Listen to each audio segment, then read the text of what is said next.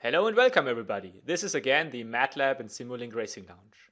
In today's episode we are going to talk about the principles of control design. And when it comes to control design, I need an expert, I need a specialist. So thanks very much to have you on board. Hi Daniel. Hi everyone.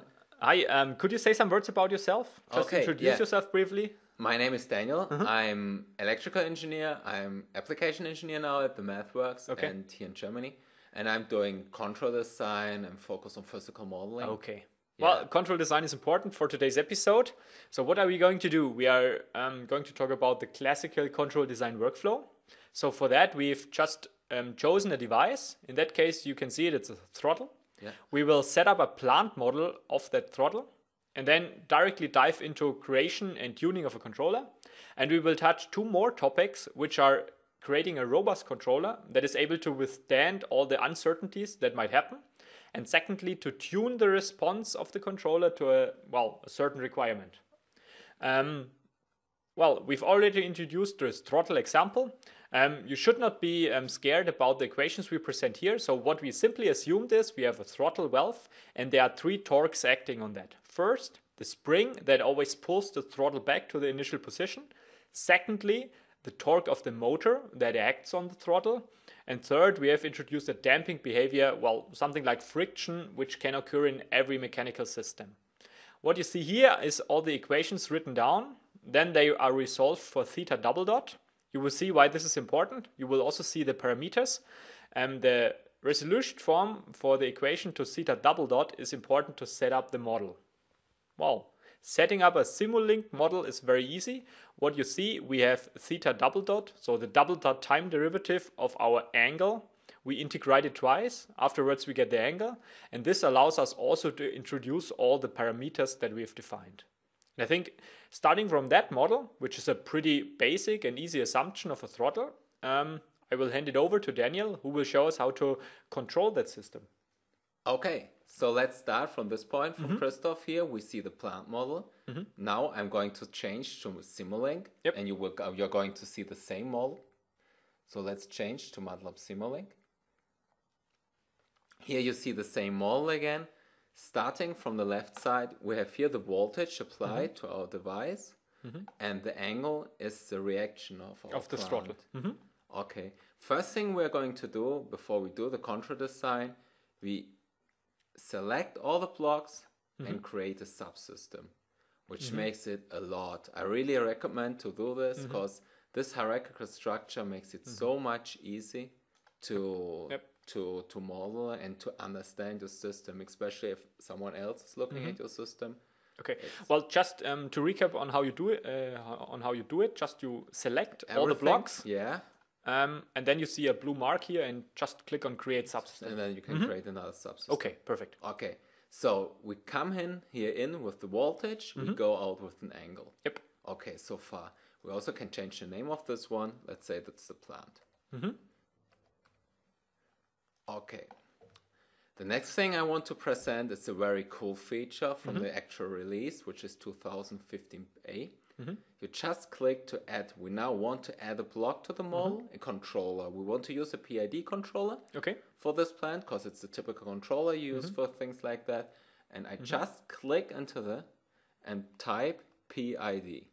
And now it gives me all the blocks in the Simulink library, which are some kind connected with PID. I want the first one, the Simulink PID controller. Just hit enter. Okay, here's the block. Now I connect it to my model, just mm-hmm. drop it in, and Okay. that's it. Okay, that's our PID controller.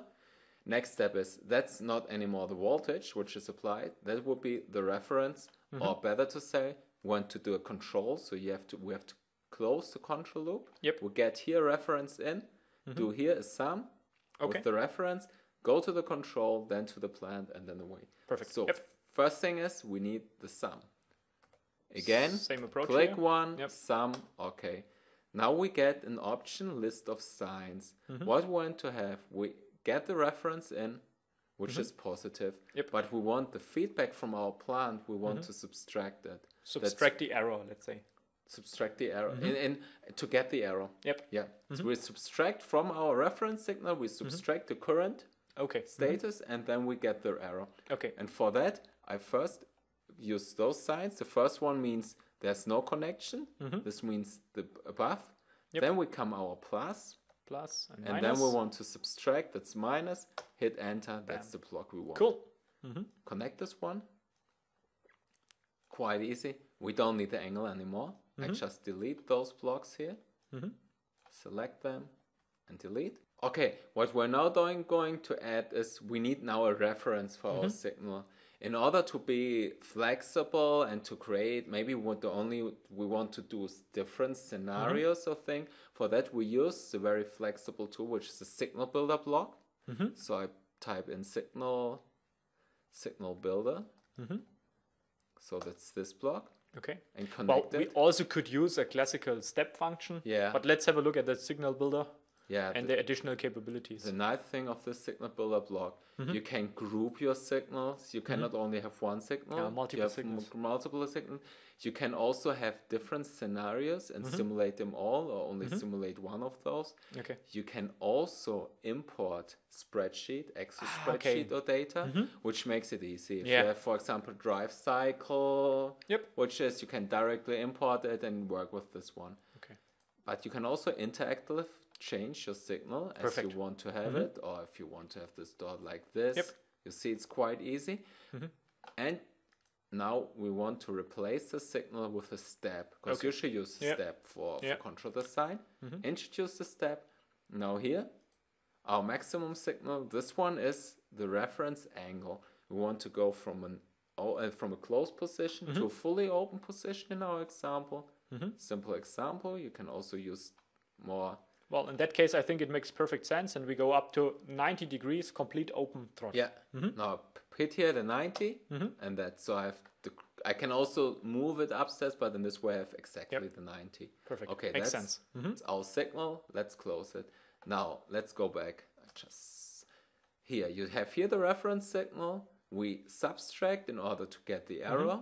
Our plant signal. Then we do the control, the plant, and that's It's that. Yep. Okay, now we could simulate the model, but we want to also see our simulation Yeah. results. Mm-hmm. In order to do that, we might could add a scope block to this and make it more, but this makes the model more complicated. Mm-hmm. No, we want to avoid this, and that's why we click on the signal we want to look at, mm-hmm. create and connect the viewer, Okay. and create a new scope for Well, that. which is also a scope. I think the advantage of that feature is you can add multiple signals to the same scope. As that's the same, yeah. Mm-hmm. There's also a signal and scope manager. We won't look at this one, but where you can manage all your signals. But here you see there's a scope. Mm-hmm. We also want to look how our plant behaves. So we also create here one and connect this one to the To the scope. view. hmm Perfect. So now we have the two signals in this one. Let's simulate Yep. and let's have a look at our signal. Okay. That's our current. Mm-hmm. So we have about the right behavior. So we start with a, uh closed throttle, then Yeah. apply the step until full opening. What we see when zooming into a bit to the signal, we have a quite blurry behavior. So there's overshoot and then some vibrations. And this is actually what we are going to improve now. we want to fix this Mm-hmm. problem to have the system behavior we really want to have and not like this Okay. Mm-hmm. we want to define it but let's let's see Okay. okay first we go in into this block Mm-hmm. here we can influence our system behavior Just a question at that point, Daniel. You mentioned it before, but why at that point is the PID controller the classical choice? Could we have Ah. taken other choices, or why did we choose that one here? the PID controller let's say it's the the typical or the mostly used controller Mm-hmm. Yeah. The good thing about this one is you can use linear control theory Okay. So you can say, okay, the stable in this working plant, our s- system is stable. Mm-hmm. Okay. It's more easy to say something about robustness. Yeah. And the problem of nonlinear control design is that's very specific for Okay. application. Okay. So the good thing about PID is you can almost apply it for let's say 90% of Okay. applications. So Okay. Then it's a good starting yeah, point. we can summarize it like that for linear controls. And Yeah. in that episode, we are actually focusing on linear controls. PID is pretty common. Yeah, PID is the standard. Okay. It's the Perfect. mostly used. Now we want to change our system behavior. In order to do this, Mm-hmm. we change the parameters of this block, which are the proportion, integral, and derivative. That's why it's called PID. Mm-hmm. Yep. Those three parameters, we want now to optimize them Yep. or to change them. Okay.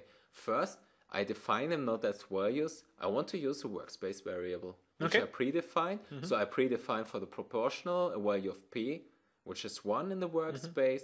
The same for the integral one. You pretty much specify the same values, um, but as parameters and not as fixed values. So we have more options Yep. and we can later save it and whatever. Yeah. Makes perfect sense here. Yep. apply. Okay, now we have those values. Now we could change those values to things to have another system behavior, but the most convenient thing is is you see here a button which is called tune. We just use this button. Mm-hmm. Yeah, let's Just- try that out. If you have MATLAB Simulink, just try it out. It's a cool feature. It's a Mm-hmm. really cool feature. If I click on this one, now it's starting the linearization.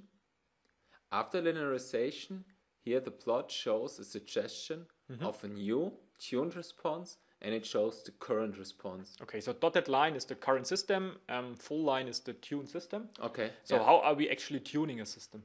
yeah, that's now you see here the two slider bars Mm-hmm. which are in a time domain. So here you can directly tune Mm-hmm. and get a different behavior. Perfect. Okay. You see also here the parameters Mm-hmm. Of this. You, so you have also some about performance and robustness. Mm-hmm. You see it here directly, the comparison between the current and the tuned one. Okay. In order to talk about those values like gain and phase margin, Mm-hmm. let's have a look on the frequency behavior. Okay. For that, we add a plot, a Bode plot, and an open loop plot of Mm-hmm. our system. Okay, now you see it here. Again, we see our plot response and the tuned response. Mm-hmm. And now the values shown are here. The gain margin and phase margin are the margins Mm-hmm.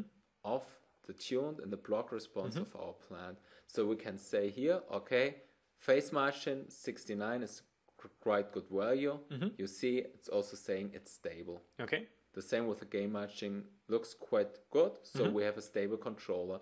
And the good thing is our um, algorithm here guarantees us a stable plant, except Okay. depending on our. Mm-hmm. If you see at the phase margin and the gain margin and everything, it looks always good. Mm-hmm. Makes sense. Perfect. Okay, now let's look if we also have it in the time domain. Let's make it maybe a little bit faster. Mm-hmm. And let's go with this value. Okay. Or if it's nice for you, it's okay. No, let's, Let's go for that. one. Updated block. That Now, means yeah. our peak ID controller is automatically tuned. Yeah, now those Mm-hmm. values are applied to the variables in our workspace. Okay. And we can close our model. Okay, they apply to those values. Let's close this one and let's Mm-hmm. do a simulation again. Okay. Have a look at the values. Have okay. a look at the scope again. Well, what we see is a much smoother behavior and it's reaching the 90 degrees a lot faster. Yeah. Perfect. It's, it's faster, but we have a high overshoot. Now we can change the overshoot behavior things. Well, this is the way how we can tune actually our control. Yeah. So now let me ask one question. Um, we have talked about that uncertainties. Yeah. Basically, imagine that we have a model that is not 100% right. So, Yeah. for example, um, if we go back to the model, Oh, let's say it's not right, but if it's it's if it's uncertain, if their values Exactly. not exactly known. so, okay. so yeah. do we have a workflow to overcome that? Okay, yeah. I Mm-hmm. already prepared something for that. It's for the damping. Here for Mm-hmm. this coefficient, it's 0.04, but you know Mm-hmm. from you not always know and it always also depends the Well, in that case, it's an actually a very good example Yeah. because, well, friction is involved in every throttle, and depending on the dirt that accumulates in the throttle, that damping value might yeah. actually change. Yeah. So, how can we, well, model that uncertainties that might happen and also might affect our control quality? in order to show one possibility Mm-hmm. how you can do this in linear control mm-hmm. theory we now apply here to this block. We can also say for the linear analysis we have a mm-hmm. specific block linearization. Okay. let's try this one. We highlight we use this one mm-hmm. and we use the matlab expression. This one which i prepared is a uncertainty of the parameter kd which is nominal those 0.04 but um, the tolerance is 20% Okay. this means it's we don't know the value exactly but we know it's in the range of 20% Plus minus 20%. Well, and and that's what that's a need. pretty realistic case. Well, I would use the tested values um, in your case, but just to show the workflow, it's a pretty good example yeah here. Mm-hmm. and you can also say okay it's not only in percent you can also specific a range or things Yep. like that And we can do that for every parameter where we are not really sure of. yeah Mm-hmm. And in this way, we can include those uncertainties in Mm-hmm. our model. Okay, cool. So let's let's try that. We were talking about linearization. In our Mm-hmm. PID control, we did it implicitly when we did the, the, the, Mm-hmm. the tuning of our parameter.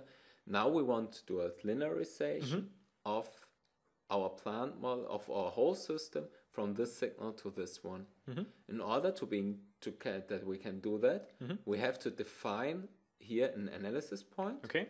Here we want to inject, we do want to do an input perturbation. Mm-hmm. Here we apply our signal for the linearization. Okay. And after the plant here, we say, okay, here Well, we want measure it the somehow. measurement. Okay, Yeah. output measurement. hmm So now we have the plant behavior between those two points. Well, and we actually want to model those uncertainties between the well input and the, the output. This is yeah. And now the next step is a control design linear analysis Mm-hmm. of this one. Okay, let's start the user interface. Okay, now we have here some options. Mm-hmm. We can do a step, a Bode, imports, or different things. Let's start with a Mm-hmm. Well, step. let's stick to the step function. Yep. And now it's doing the linearization between the two points. And already here in the workspace, we see a uncertain system. Yeah. Mm-hmm. We see this one, USS. If it's here, it's an uncertain state, State space, space model. model with one output, one input, four states. That's our system. Okay. Now, these are all the values between, but we don't know if this one really is the worst case. Which one is the worst case scenario? For example, yeah, let's talk about the, the overshoot. Well, of we, this we actually see the worst case. Yeah. Well, we see one curve is probably the one with the most overshoot, but we don't know the parameters behind. So which same, which yeah, yeah. uncertainty or which parameter um, is exactly fulfilling that curve? Okay, in order to do this, we have Mm-hmm. this model here, the uncertain state space model. We can import it directly to the MATLAB workspace, Oh, really? You just drag it over to the drag MATLAB and drop, and Wow, it's now in cool. Mm-hmm. the MATLAB workspace. And so now we have all possibilities in MATLAB to find all those values. Great. Well, let's do that. Yeah, let's change to MATLAB. Mm-hmm. Okay, now we're in the command window. Here you can apply function and do calculations. The good thing about this later, you can all script it. Yep. just create a script and then. Mm-hmm. you can run it directly without having to enter everything. Okay, let's start first. We want to find the worst case. Yep. The worst case, what you said in this case for the for the gain, which means where's the highest overshoot. Oh, Okay. let's do that. Okay, you use a certain function that is called WC gain. Yeah. Okay. This one is applied on our linsys, Mm-hmm. and we get back from this function the maximum gain, Gain. Okay. and the worst case values, Perfect. which are the worst case values for our uncertainties. Okay, well, let's see. Okay. Now we So see. what what we already get here, Yeah. um, we have the KD value, Yeah. the 0, 0.48, and this is exactly the upper bound of our uncertainty. So the more friction we have, well, we the more we run into the worst case scenario. Okay. Okay. In this case, it looks quite simple. You can, but if you have more uncertainties and if it's getting more complex, Okay. in this way you can Yeah. really include all effects. Okay. Not only the effects you understand, you also get the the Mm-hmm. con- if they are connected in some way or things. So you get really the worst case. Perfect. Well, that makes especially uh, when you uh, when you're working on more complex system, you Yeah. have more uncertainties. I think this feature pretty much gives you great confidence in your system. Yeah. Because at the end, well, you cannot check every variable, and this truly can tell you the, the worst case. Mm-hmm. Okay. In the next step, I want to show how you can also plot Yep. Mm-hmm. those worst case in comparison to the existing ones. Yep. In order to do that, there's also a function which we have Mm-hmm. to use. It's this one. It's the usubs function, Mm-hmm. also from Robust Control Toolbox. You apply on the linsys one, it looks with those values and gives you back the system Mm-hmm. Well, for the worst case. Okay, now we have our system. Mm-hmm. Next step, you see it also here in the MATLAB workspace. That's the system worst. Mm-hmm. Worst case, yeah. And we have here all the systems. Next step is now we can plot those Yep. 2 For example, in a stop or a step function. Or do you want to have a Bode? No, we have a, we have a step function here anyway, so it would be cool to have it in the same plot. Okay, let's do a step function. Mm-hmm. You see here now what I entered is a step from the linsys and this is worst. Yep. let's go with it. Okay, and we get our step response. So it's the red curve. Well, yeah, exactly. Let's, let's zoom in yeah. to have a better view on mm -hmm. it. But this is exactly uh, exactly what we expected. So we wanted the scenario with the most overshoot, with the yeah. most gain. Um, well, that's a pretty nice proof of concept. Yeah. And I, I can see the power behind that for more complex systems. Yeah. It really helps. Yeah. Makes life easy in that case. And it makes your system more robust. Okay. And in that case, you really can be sure, well, in terms of um, overshoot or in terms of gain, this setting is actually your worst case. Yeah. That means all other settings are not harmful to your system. Okay. Especially if you have some experience, okay, and based mm -hmm. on temperature, okay, we have the experience that this value can be in this range. Mm -hmm. You mm-hmm. can directly apply yeah. it to your control design okay. Workflow and hence okay cool get a so stable control and robust we've also promised you to um, talk a bit about optimization so the classical scenario here is um, we tuned our controller um, we are pretty sure that we can overcome the worst case scenario. Yeah. But what if what uh, if we have certain restrictions? How could I model um, certain restrictions so that the controller uh, the controller doesn't violate those restrictions? Okay, that's a new thing you're talking mm -hmm. about, or a new aspect which we yeah. can use as well. We're now leaving the linear analysis. Okay besides linear analysis, we have also the possibility to use optimization. Mm-hmm. And optimization is really powerful okay. because, as you said, if we have restriction or in general, more generally, if you have requirements, okay. you can define requirements for mm-hmm. your system. For example, you want to have the overshoot not to be more than 10%, or well, you have to let's, to the let's exactly time. try that. Let's do that in the model. I'm changing for that back to the Simulink model. Mm-hmm. And now the tool where, where I was talking about is the response optimization. Mm -hmm. It's analysis, response optimization. Mm -hmm. Let's start this. Okay. And now we see again here the design variables and mm -hmm. also the uncertain variable set, okay. which we can define here. So we are not losing the uncertainty information. No, we can do That's this perfect. as well. Yeah. Okay, now I'm going to define our design variable set mm-hmm. by clicking on this one and say, let's define some new variables. Mm-hmm. And for this, we select all of our control. Mm-hmm. All makes sense yeah. because we want to optimize all. They're listed all here, mm-hmm. and that's okay. Let's just apply them. This, yep. apply.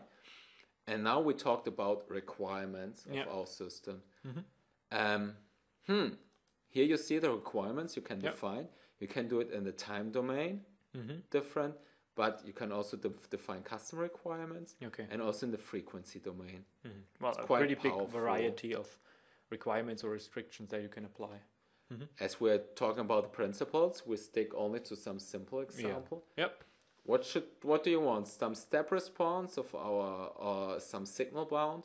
I think for me it's important to have a realistic case.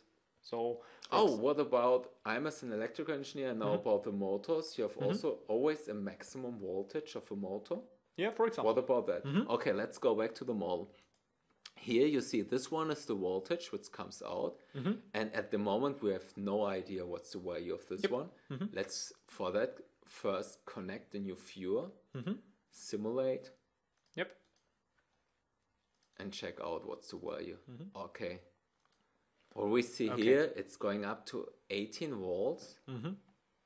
Okay. Well, this is a very realistic case. Great, great thing here, Daniel.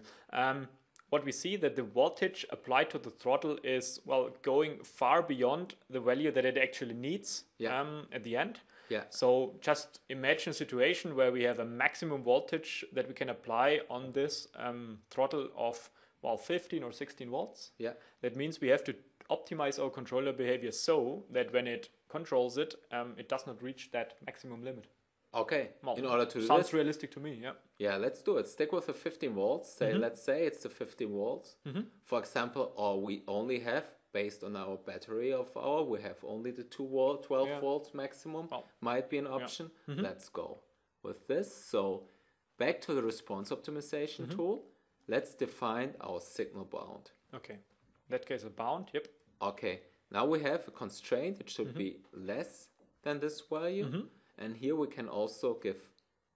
Well, in the time domain, it also specify the amplitude, okay? Yeah, well, let's define here the 15 volts. Mm -hmm. And in at 10 seconds, the same. Well, and have a linear behavior, okay? And it's a linear bound. So yeah, looks good. Yep. Now we have to select the signal. Okay, so how do you select the signal? Press the plus sign. There's nothing. No signals have currently been selected. Okay. Okay, so you just go to Simulink, select your signal. Let's do that. Wow, cool. Select the signal. Go back. And We here have it is. Cool. Let's go with this one. Hit OK. So basically now we have specified. Oh, I think I forgot here. I put only the one. Let's change this one to Okay, 15. the amplitude. Mhm. Yeah. Well, can well that's a- just an assumption. The the voltage amplitude is the same at any time. Yeah. Well, pretty realistic case here. So that means now we have defined our optimization problem. Do we have Yeah. to specify anything else? No, Okay. Mm-hmm. but what we can do is we can evaluate, evaluate the requirements. If Okay. we have more than one, it makes sense, but for one, it No, makes but- no sense. okay. But let's plot the model response. Okay. Mm-hmm. That makes sense to see if it's really the way Well, if we saw it in well, simulation. okay, what we see here it's actually violating that Yeah. restriction. Yeah. Mm-hmm. So now the next step is to the optimization. There are some options. We can do parallelization or different algorithms, but let's start with the optimization. Okay, so we start with the default set, but for you it's important if you want to have a certain solver uh, being applied, a certain method that can be specified within the options. Okay, let's start optimization. Okay, the nice thing about this tool, you do not only see um, what's happening here with the iteration and the counts and mm-hmm. the signal counts, you only see, also see directly the ah, influence or- or how the mm-hmm. requirements are met and what's the looking. And we see now it already converged. Mm-hmm. Just two iterations were necessary Yeah. in order to, well, to have a signal that fulfills all the requirements. Okay, let's have a look at it. Yeah, here we see directly. Yeah. We can also do a zoom, but okay, we have it Yeah. here.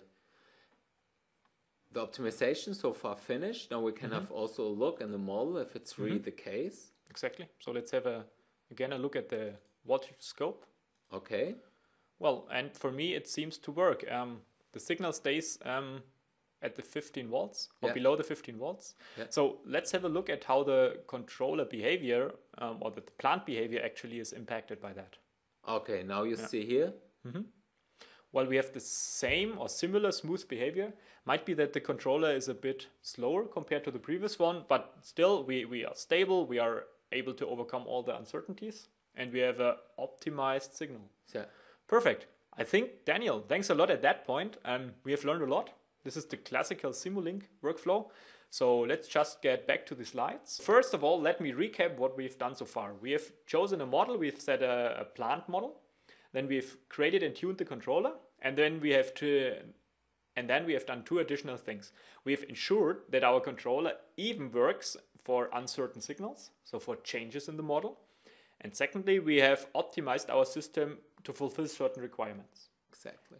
Yeah. Cool. No, I, I, for, for me, that's pretty impressive. And that brings us to the key takeaways of today's session. So, Daniel, would you just go through them and say some words about them? So, Okay. what do you think about that? The first thing is control design is no magic. What I mm-hmm. want to say with this one is even there's a lot of mathematics behind the things mm-hmm. I shown. There's a lot of stuff behind, but it's no magic. You can Yeah. use it. Those tools are thought to use. You don't have to have a PhD in control design mm-hmm. in order to have a stable and robust control. Okay. That's the first thing, and the design workflows are straightforward and usually very similar always. Okay. So you can always use the same workflow in order to get a robust and stable design. Okay, perfect.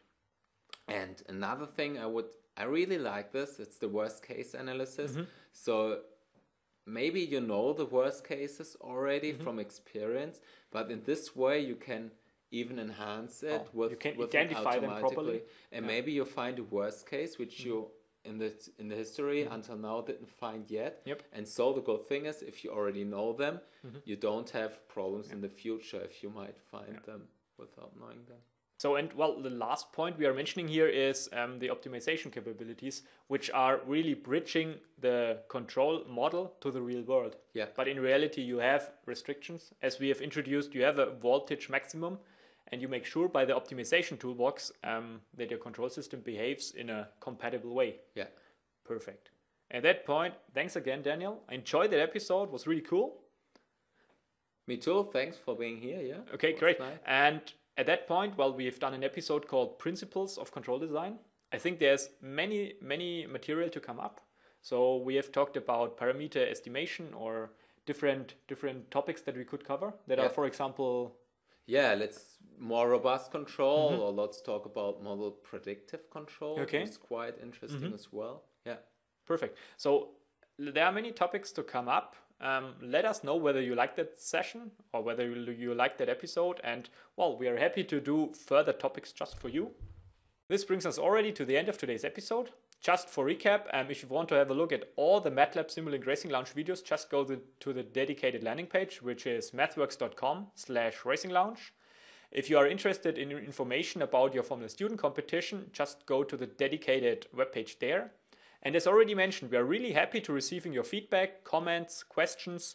Let us know your feedback using the team email address. It's formulastudent at mathworks.com.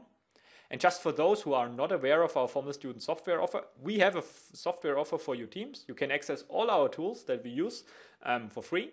And if you do use our software, would be would be happy if you use our logo on your cars and on your reports as well. Thanks So- again. So please do it at home. All the things we just shown here. Yeah, well, Yeah. the recommendation is definitely to try all out. Yeah. And if it works, let us know. If it doesn't work, also let us know. Yeah. Thanks for watching and see you next time. Okay, bye. Bye.